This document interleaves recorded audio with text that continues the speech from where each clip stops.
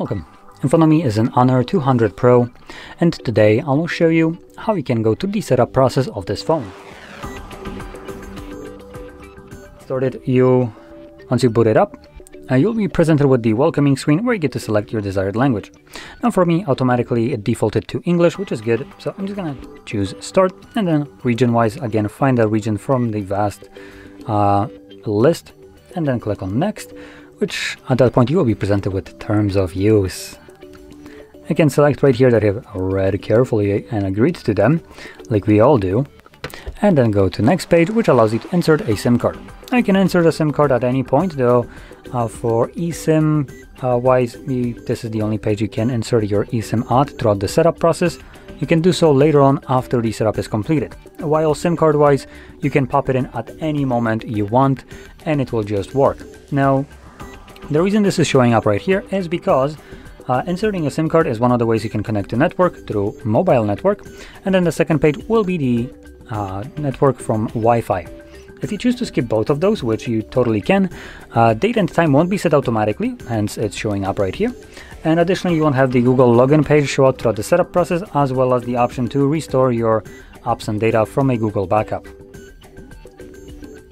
Now, Next page we have Google services and we have things like location scanning and sending user and diagnostic data. You could turn those off if you wanted to, but let's be honest, it's Google, so turning those off means crap all because Google will still gather your data no matter what. Probably, I should add. Um, moving on to the next page, we have data and privacy.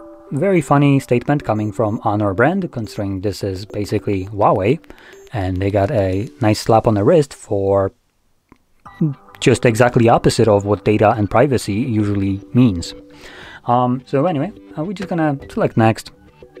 Then we have device protection, and here you can select a couple different ways to protect your phone. That'd be fingerprint, uh, face recognition, and PIN pattern or password. Now, if you're planning to use anything like fingerprint or face recognition, or both, you will always be required to have PIN, pattern, or password, and the reason for that is if something would happen, happen to your biometrics, meaning for instance your fingerprint or face, uh, you would lose access to your phone. So that would leave you with the last option, which would be a PIN, pattern, or password. Now, with that being said, you don't have to protect your device if you don't want to, so you can select skip right here and yeah, skip anyway. And then we have enhanced services on the next page, so we can go through this uh, and see exactly what this is. I typically don't even want to read what kind of enhanced services that is, uh, or that are offered to me, and I just usually select no thanks if I have the option. Um, Again, that probably usually means nothing because privacy on Android devices is just non-existent. So anyway, uh, later. We have location services again later. Uh, keep your uh, software up to date. Now this is a tricky one uh, because instead of having later button, uh, it's basically right here hidden in the text. So update manual, click on the blue text and then select don't enable. Next, um, obviously uh, going back to that don't enable, obviously if you want updates to be delivered to you when they come out for your phone then uh, just select the button that was right there to confirm it I don't so that's why I select uh, to not enable it now on the next page we have the system update uh, update sorry not update uh, system navigation and we have two different methods we have the gestures and the three button uh, at the bottom, which you typically have throughout the setup process. Now I'll be choosing gestures which are selected by default and you can also go to the gesture tutorial if you want to, but luckily nowadays we can just select finish without actually needing to learn those, as most of us already probably know how to use those. And once you do that, you are then presented with the home screen.